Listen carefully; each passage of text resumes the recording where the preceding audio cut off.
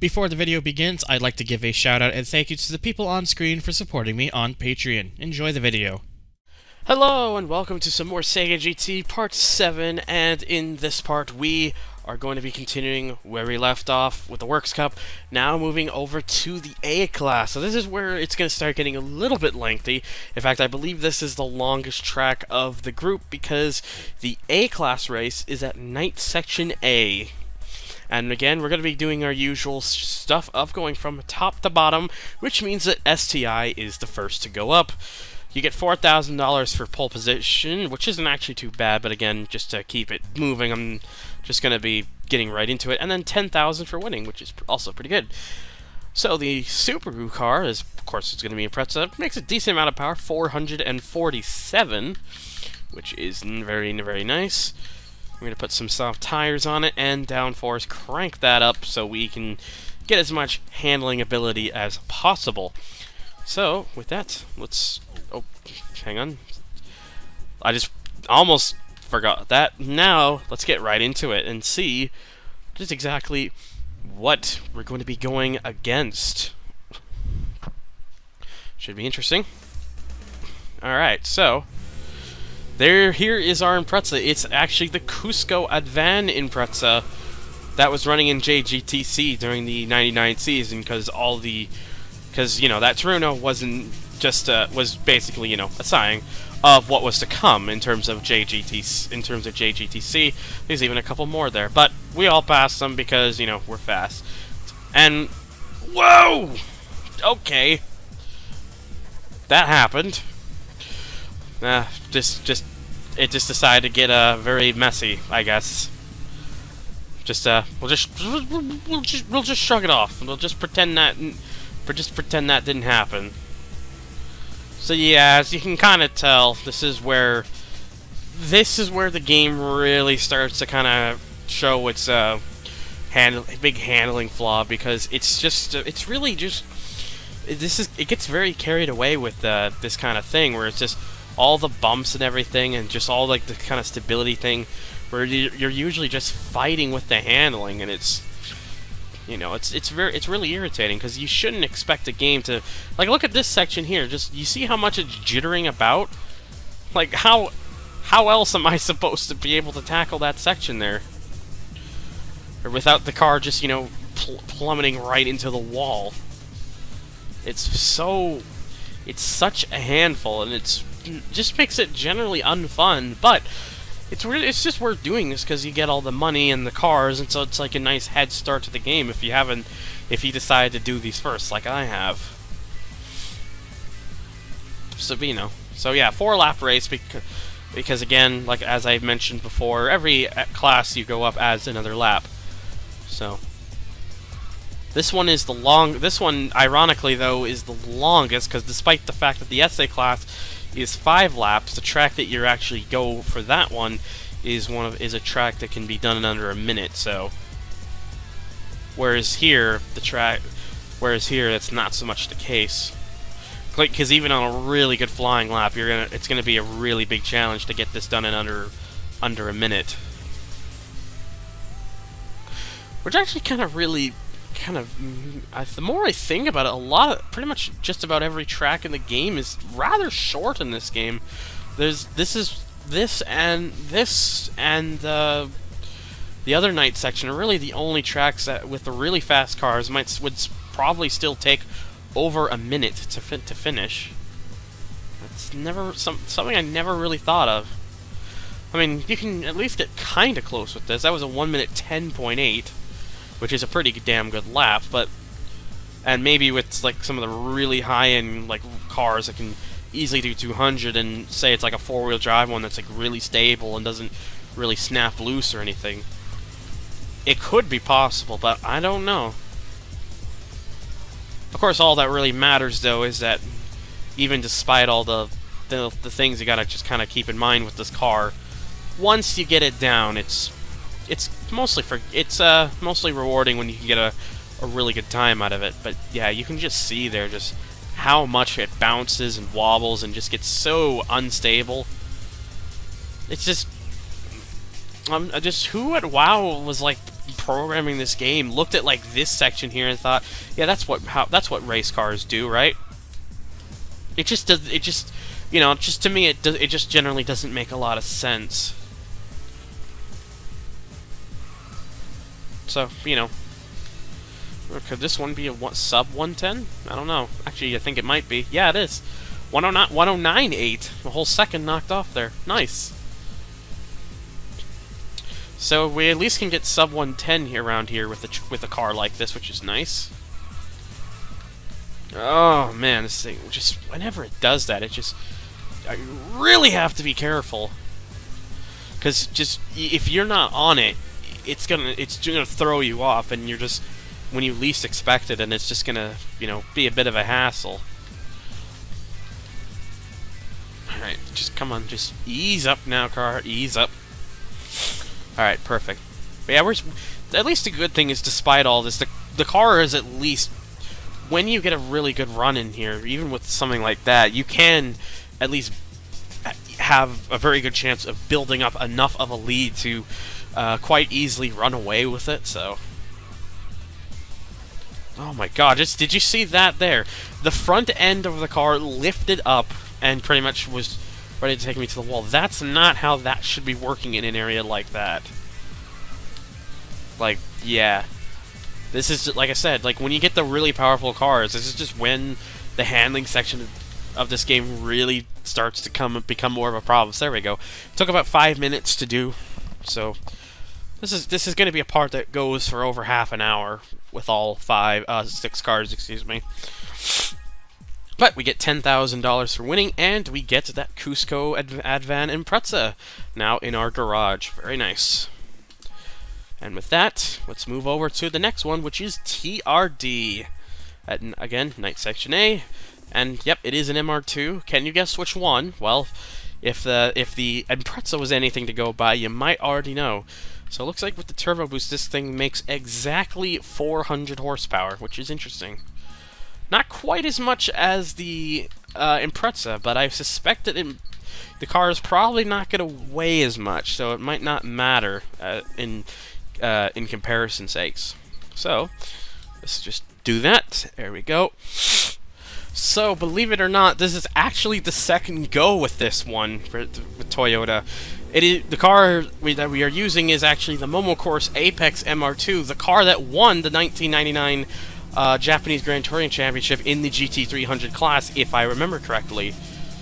Not that you would know it from driving it in this game, because holy crap, this car ranks probably amongst one of the worst handling vehicles in the entire game. It is it is super super unstable. It easily wants to get into a big slide and any sort of bump it takes sends the car into an into another direction. It is just so unbearably unbearably unstable. It's that you have that the the kind of momentum that you you should normally be able to take many of the many of the, the tracks and corners and many of the the corners and whatnot in this game with some of the other vehicles, like even the Impreza for comparison, and that thing's a bit a bit loose too. The MR2 just kind of amplifies that by like 10,000. It it is such an uncontrollable mess of a vehicle. Like so despite the fact that I would normally be able to punch it and just get really far ahead of the competition, I have to play it a lot more safer be just because this car is so much more unstable. It's just such a mess.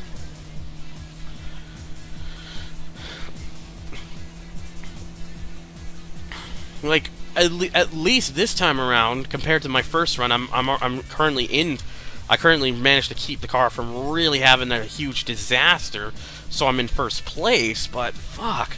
This thing just this thing puts gives you way more work than you would ever need to expect, especially out of a race car like this. A race car that none, not that not even that won its won the championship in its class. Like, oh, oh man, like, oh my, just look at that. That that's just a little small section there that that has like a, that's like the game thinks is like really bumpy and everything, and it just sends the car all sorts of loose, my god. See, look at that. Nearly got taken all the way completely to the left. Alright, downhill section, and I'm not even to really give it much of any throttle. Especially because look at the... Oh, Jesus. I gave it just the tiniest bit at the end there because I thought I was in the clear. Nope. Like, at least I'm got... At least this is a second run, so I'm... I'm kind of more predicting what the car is going to do in some cases, but it is still so... It's just so bad. And the wor and you want to know the worst part of all of this is? Like, as bad as this car is to drive, there's still a car worse than this. Not even joking. Uh, that's that will come later. In fact, I believe it's going to be in the next part. But we'll get to that when we get to that. For now, I am just going to try and get this damn thing to the finish line without killing myself in the process and losing my out on my chances of first place, especially now that I've uh, admittedly built a pretty decent lead here. Most, mostly because I've mo been able to prevent the car from from getting like really stuck at the wall or crashing. But just it's it shouldn't be this much work to have to do so. I'm glad that the Se I'm glad that fucking Sega GT 2002 slash online didn't have this weird kind of handling physics. In fact, the handling physics in that game are fantastic, really good. It's just a shame that this game what was not didn't have similar handling physics to that. But whatever. And it, it, it is, in my opinion, still one of the reasons why this game kind of faltered to Gran Turismo. I, I don't think even if the handling was better, if every even if the handling was comparable to Gran Turismo, if everything else was to remain the same, I don't think this game still would have stood a chance. But at least I think some people might have looked at it a bit more favorably. It's still an interesting game nonetheless, don't get me wrong, but just the amount of work I'm putting into this thing, it's just crazy. I'm actually amazed I did that corner pretty well there. I most I think at this point because I'm so far ahead I'm, I'm willing to give it a bit more go. Oh my god, look at that. Look at that. Just that was all it took to get the car to spin out. I am so glad I have built that lead because otherwise I could have if I was only barely ahead, I probably would have lost it. Let's I'm just to get the car home now. Oh. Worst part is that would have been my best lap had it not been uh, in this car, had it not been for that. But yeah. Oh, I was only about just under 10 seconds off the time I did with the Impreza, but still, what a mess. Anyways, at least the good news is we got it done, and the car is at least in our garage, so we can at least look at it and mention about it how it's like a pretty like MR2 race car though the chances of me getting back into this car for a race in this game is uh, hmm, probably not going to happen. Let's be honest. Maybe Nismo will uh, give us some better luck with its uh, Silvia. In fact, since you probably... Well, I'll, I'll mention, I guess, when it loads. There we go. This car makes about one horsepower more than the MR2, but does make more torque. I'm just hoping because I actually honestly don't remember how the Silvia drives. If the Silvia is at least better, I think it will. I think, I think when it comes to handling vehicles, if memory does serve me correctly, the MR2 is easily the worst. But we'll see. Ugh. Sorry, it's just sometimes when I when the passion really gets there, I can really start building myself up with things. That was that was a big mistake to shift to second there. I don't know what I was thinking, but yeah. Here's another uh, GT300 car, the Zenavi Arti Arta Silva. Uh, I cannot English. The Zenavi Arta Silvia. There we go. That's how it. And right away, I can already tell this thing handles way, way better than the MR2. In fact, I would actually say it's probably even better, slightly better than that Impreza. I mean, it gets a little bit slippy, but it's mostly well balanced and kind of easy to really push it. It's kind of easy to really push this car. See, in fact, coming off of that little section there, always just when it come when it's like the slight downhill, it it always destabilizes the MR2 and usually gets you sent into a wall.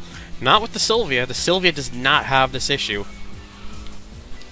Holy crap! The fucking violent reaction there. I just fucking gunned it because I felt like I wasn't gonna spin the car out, and uh, you know what? I was right. This thing is so much better to drive, though. It's it's like night and day in comparison to that MR2. In fact, there, the first lap, which was a standing lap, and I had a botched start, was still a faster lap than uh, than I did with the uh, MR2, and any of the laps. To be fair, that last lap could have been better than that, but you know, I had spun, so. Okay, well, there is a moment. I guess there is a moment where you can play it a bit too rough, as I just discovered there. But eh, didn't really wasn't really anything particularly too bad there. So, oh boy, gotta just gotta be careful. Whoa, whoa, whoa, whoa, whoa. Okay, whoa. Just hold the phone there. How was that even possible? I I don't even know how that is supposed to work or why, but you know. oh, this game is so weird sometimes. Oil Park, I just noticed the sign up there. What? What is Oil Park? Is it just a park full of oil? No! Well, I guess I got. I guess I can get too carried away in in the car like this. And here's me thinking I wasn't gonna make. I wasn't gonna be able to do that much at all. Turns out I'm a complete idiot. Let's try this camera view and see how I get on. Maybe it might be Maybe it might turn out better, who knows.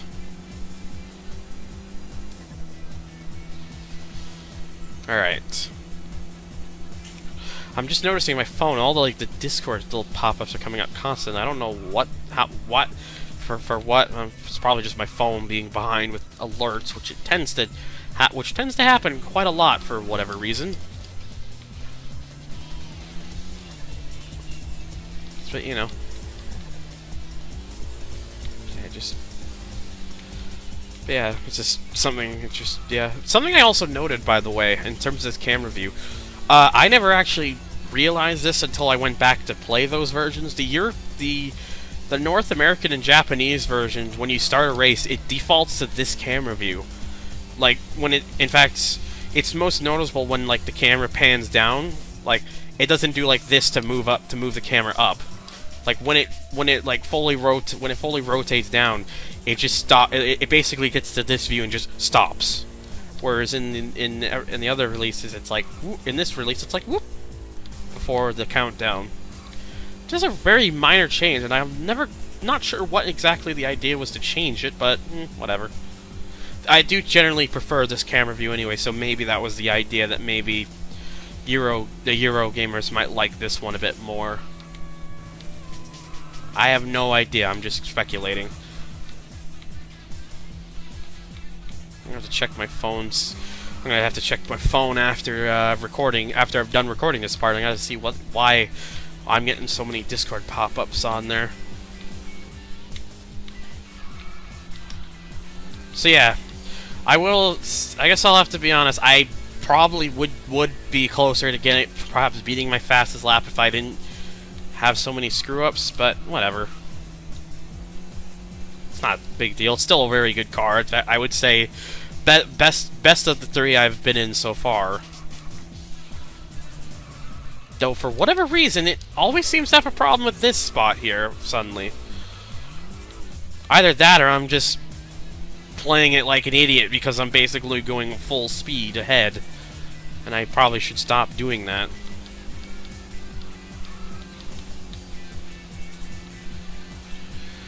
It's just, you know. And yet, despite all of that, the total time was better. Cool. Alright. I'll take that. Um, you know. So there we go. There is the third done. And I, as if I remember correctly, I believe those are the only JGTC cars in uh, this class. The the, uh, the bottom three are not uh, JGTC cars.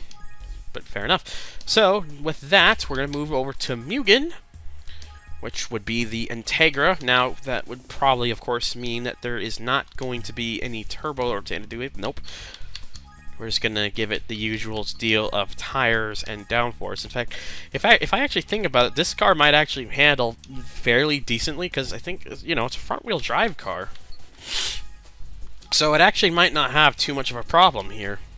It, I think it, what what'll really just depend is exactly how much power is it going to have and exactly how much of it's going to be very useful for the for this race here. I mean, I'm sure I'm not I'm going to have no problem no problem getting through this, so, but, you know. But yeah, the Mugen Integra, very simple in design. Just another kind of Mugen scheme like the Civic. But, um, you know, works well for this car, at least. Excuse me.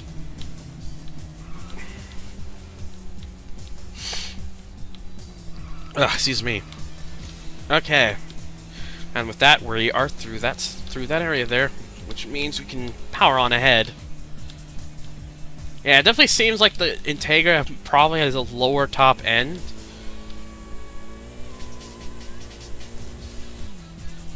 Because it's definitely not getting to the same uh, speed as the other cars, but it's very well balanced. Very, in fact, probably the best so far, better than the Silvia.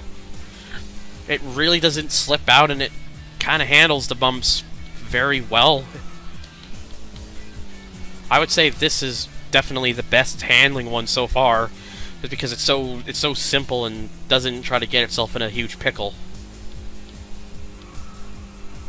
So you know, despite I would say despite the uh, despite the disadvantage on power as it definitely seems, this thing at least this thing at least has this ability to kind of make up for that. So it's not particularly something that's a, of a huge loss in this case. At least, at least to me. Consider it just when you consider how the AI gets on with uh, their with the vehicles and whatnot. So having the better handling means you'll have an easier time getting around the track here. So so let's just uh, Oh, was another thing I found out too about this game. I actually had already known about it, but I was never sure of exactly, exactly what. Uh, the uh, now the Japanese version of this game has uh, Dreamcast version has um, four exclusive uh, Carrozzeria body Carrozzeria bodies. I think that's actually I think that's how it's supposed to be pronounced. Carrozzeria someone there was someone who put a comment on how it's supposed to be pronounced, and that's my attempt at trying to say it, Car Rosaria, Car Rosaria, and whatnot. So, and uh, you know, basically the whole thing with that is you have like all the different body styles and whatnot. I will of course show off the all pretty much all, as many as I can once I get through as I continue to play through the game and whatnot. So, but. Uh, and it's, yeah, I had known that there were some there were some bodies that were exclusive to the Japanese version. I was never quite sure what exactly those ones particularly were. That was until I found a copy of the Jap a Japanese copy of the game and was able to download a save for the Japanese version so I could find out, which it was a save that had everything unlocked, so the bodies were there. Uh, there's four bodies. One is called the Basica, the B A S I C A, and it's basic. It's it's its a main design is actually a classic Mini Cooper, which was a bit surprising to see it excluded from other releases. Now, the truth is, in the North American European versions, the the data for those for those cars are still in the game, so there's no and there's no like there's no issue as to um th there isn't any issue as to uh, getting them to sh show up.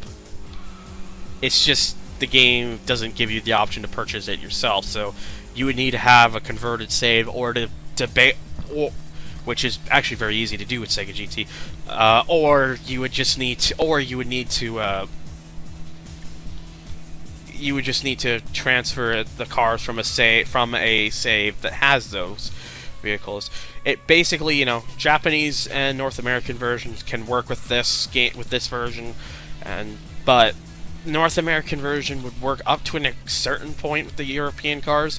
There are actually some of the European exclusive cars in the North American games files, but they're not normally accessible because you know they were they, they weren't entirely completed yet, and I don't know exactly how many of them uh, are there. I I know of two Mercedes Benz, and that's it. And then the Japanese version, I probably like you probably work fine with the North American version, but the European version would just fucking like. I think I tried that. It basically just corrupts the whole thing. Everything just becomes a white Mitsubishi Toppo, which is I think very amusing. I also found out that there's a Mitsubishi mini Mitsubishi minicab in this game. And I have no idea how you're supposed to unlock that. Maybe I'll find out as I play through the game, through this LP, but I never knew about that. That is very interesting. And look at that, a sub 5 minute run with the Integra. That's just how good this car is, despite its lower top end. So there we go, 10 grand, and there's the Integra. Might actually might actually have to see what I can use this for throughout playing the game, because it's, it's quite a nice quite a nice car to drive, I would say. That just leaves us with Mazda Speed and Ralliart, so let's get Mazda Speed out next, because, well, they're next up. And again, it's going to be an MX-5 or Miata or Roadster, because, you know, that's what we use for the license, and in this case, it doesn't change. The only one so far ha that had changed is the Trueno. Because uh, in in the B license, you do drive a Trueno, an AE111, but the works one is the BP Craft Trueno, which would have actually fit in here, but I guess because you know they had, they wanted to put the MR2 in as well, they, they that's why they did what they did. Of course, I I would have just preferred it they just used the Trueno and that's it, because that MR2 such, drives like, well, I've already gone on about it. So the Miata, though, the MX-5, the Works Cup variant in this is actually a very interesting one indeed. It's it is the Mazda Speed Miata C, uh, C spec. Uh, the C spec, like there was a bunch of different like spec variants of the MX-5 in Japan back in the day, and the C spec's like the most interesting of it because it it basically does a whole lot of visual tweaks to the car's exterior that in a lot of ways kind of makes it more resemble like a Porsche in some front in some cases, especially in the front. So it's very it's like this very odd hybrid of a Miata, but it is still very much a Miata at heart. So it's very it's very weird. Handling wise, I must say this car is pretty good. It's actually uh, kind of it's very similar to the very similar to the Integra actually. It's a little more loose probably because rear wheel drive and everything, but it's still it's very well composed doesn't particularly get into a huge uh, ha huge hassle, and it act and it hit, is hitting 140 a bit easier in comparison to the uh, to the to the Integra. This has a better top end. So this is actually so yeah, this is actually another pretty decent car to use, I would say, from this cup, because it it sure requires maybe just a little bit of work as you can see there, but not not too much that would particularly require someone who's practically uh, eats, sleeps, and drives this game every day. Or drives this game, plays this game every day, you know what I mean. I guess I went with drives because, you know, racing game. Haha, pun. And again, kind of similar to Integra. It's got a 6 gear, but never really going to have much use of it unless I guess you don't put all the downforce on. That's what that's my suspicion of a lot of why a lot of that when I've been doing it. But I've mostly just been doing it to try and improve the handling.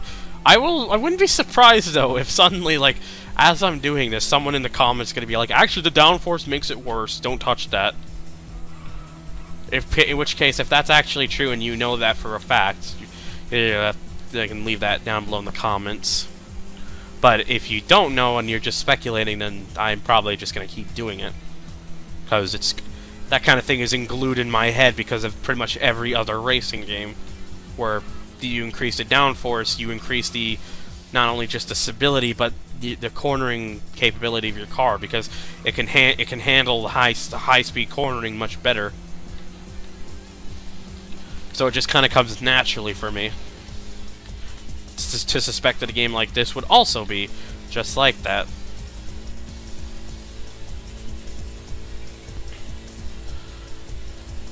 I'm surprised I've only got about a 112 so far with this. Oh, that was a that was an excellent line through there though. This got kind of came in nice and early and was uh. Oh, just a bit too much there. Well, that's gonna hurt this lap.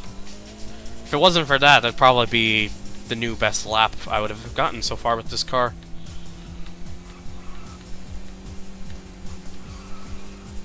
Whoa, okay. That was a bit unexpected, to say the least. Alright, but it's fine. One more lap to go. And then we should be home free with only one more card to use after that. And my opinion, probably the one I'm actually kind of most looking forward to. I'm kind of hoping it handles really well. I mean, the remember, the I would say the benchmark is still the Integra. At least in terms of uh, the Works Cup for A-Class. So I tried Papa John's Pizza today for the first time since they opened it uh, in my city. Uh, basic, for those of you curious, Papa John's, you know, one of the biggest American pizza chains is doesn't have the same kind of footing over here. One of the most popular he here in Canada would be Pizza Pizza, which is like honestly, I don't like their pizza that all that much to be honest. Everyone in America likes to say, "Oh, Domino's pizza is the worst. It tastes like cardboard." I don't know. Pizza Pizza is to me tastes a lot more like that kind of cardboard, uh, low quality pizza taste. Domino's here actually doesn't. I actually kind of like. Maybe they just make higher quality pizza here than they do in America. I have no idea. But I like their pizza here. Especially their pan pizza. The pan pizza's the best. Though I'm still really jealous at people who have Domino's in the UK. You you bastards get stuffed crust pizza. I fucking love stuffed crust pizza. And Domino's in the UK has stuffed crust pizza. And Domino's in Canada does not. I am so mad about that. Because I want, I like, I like stuffed crust pizza. Just, ah whatever. Uh, I'll, I'll, mention it, I guess, a little bit more uh, just after this, though. But yeah, uh, Miata C-Spec is now ours, and you can see what I mean. It has a lot more of like a, a Porsche design kind of going for it. Very weird, but very cool at the same time, personally. And with that, we just have one more, one more to go, and that is going to be the Lancer should this one should be pretty interesting because it's a four it'll be four wheel drive so handling might be very good certainly makes power 468 and because it's a lancer you can put the turbo on it so hooray and of course soft tires and down put that downforce on to try to help with the handling and before it's like I said earlier it's the reason why some cars get more unstable like that MR2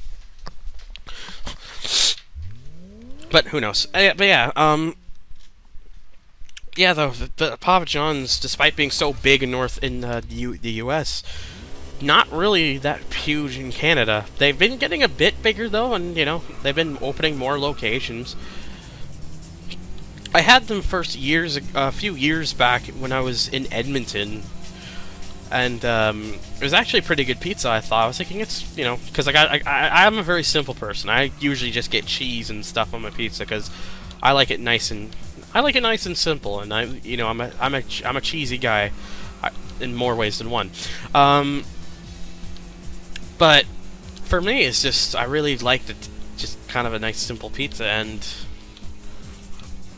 I had one.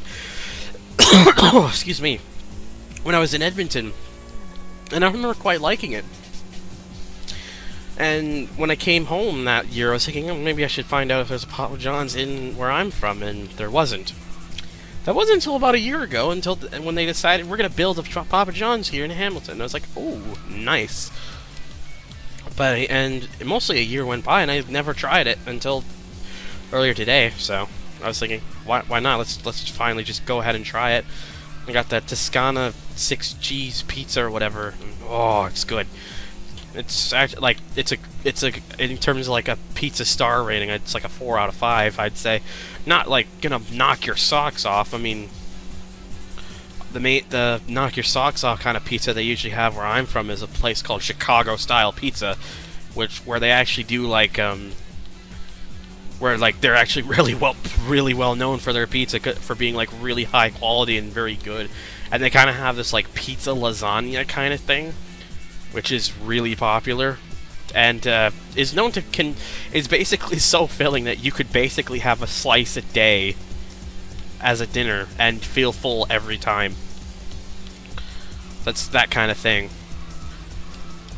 really popular over here as a result so you know that's kind of like the that's kind of like the gold mine. So of course anything else af after that's not really gonna hold up as well. But you know for for having Papa John's in my area, here it's not bad. I I'd say I I'd have it again, which I know I'm going probably going to because I love pizza.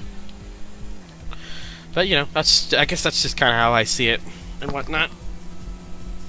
Oh wow. So I've been talking so much about pizza that I kind of not really been saying anything about the car here. This, um, the Lancer's interesting, to say the least. It's a little bit on the the wild side in terms of how it handles, a, more a bit more than I was actually expecting, to be fair, but not not like really terrible or anything, not like completely unusable. It just it just requires a bit of work. I'd say probably not kind of similar to the I would say most similar would be like the Silvia but a little more manageable because four-wheel drive.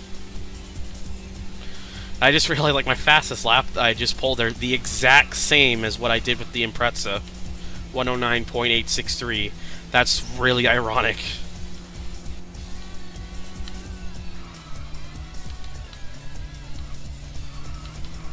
But you know, I'll take it. This lap, though, I think might be a potential uh, best. Oh, no! I don't know, I don't know, it's getting a bit loose. Oh no, I think I still got a best flowing in this. It's gonna be a sub 109. Yeah, 1086. So yeah, I would say definitely the Lancer is probably the best. Then, you know, it's it's not the best handling is still the Integra, but in terms of best performance, the Lancer I think takes the cake here. It's just it just it has the edge over something like the Impreza in this particular regard. And also, it be, be, because it wasn't used in like touring car racing like the uh, Impreza, there's no JGTC variant. If what they've basically done is they took the Evo 6 and gave it the basically the kind of same style they've been giving the rest of the rally cars, but which at least in this case works really well because this is very reminiscent of the actual Evo 5 rally car. The Evo 6 was like mostly entirely red and had some white details and whatnot, whereas this is a bit more, a bit more, uh, kind of, bit more adventurous in its, uh, wild in its color scheme. But still very nice and simple and quite quite stylish and there we go. Another fastest lap despite all that. 108.2 and total record 441. Definitely the best car of the bunch. So it's probably one I'm going to be using, I imagine, for a future thing. Who knows? And there we go. There it is. The works car Lancer Evo 6. And with that, the A-Class is done. Now, I was, like I done the previous two parts, I'm just going to quickly run them over in the garage here.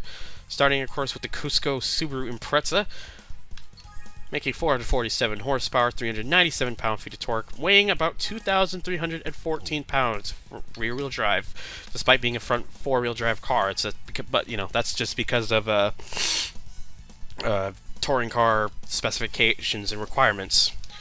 Momocorse Apex MR2, 400 horsepower, 397 pound-feet of torque, weighing 2,369 pounds, mid-engine rear-wheel drive. That probably has a lot to do with why it handles so shit in this game. Naviarta Silvia, this one goes back to a front-engine rear-wheel drive configuration, 401 horsepower. Uh, how much torque? Again, 419, so it makes a little more than a horsepower. 2,314 pounds. Now the Mugen Integra Type R is about is really down on the power. Only 300. oh, excuse me, 304 horsepower. Only 209 pound-feet of torque. Really? That's uh, that seems about that seems kind of wrong and off. Like what? Okay, and weighs 2,495 pounds, which is more than I was expecting. Like th that's really surprising. I didn't kind of expect that. MX-5 C-Spec, least powerful. I guess to be fair, it's you would expect that. 263 horsepower, 202 pound-feet of torque, but only weighs 1,750 pounds, so it's definitely the lightest.